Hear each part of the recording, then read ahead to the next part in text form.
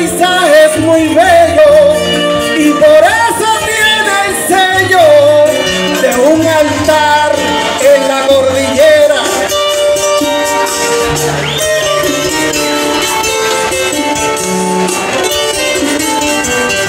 La paloma sabanera nos encanta con su trino, todo ese ambiente divino en embellece.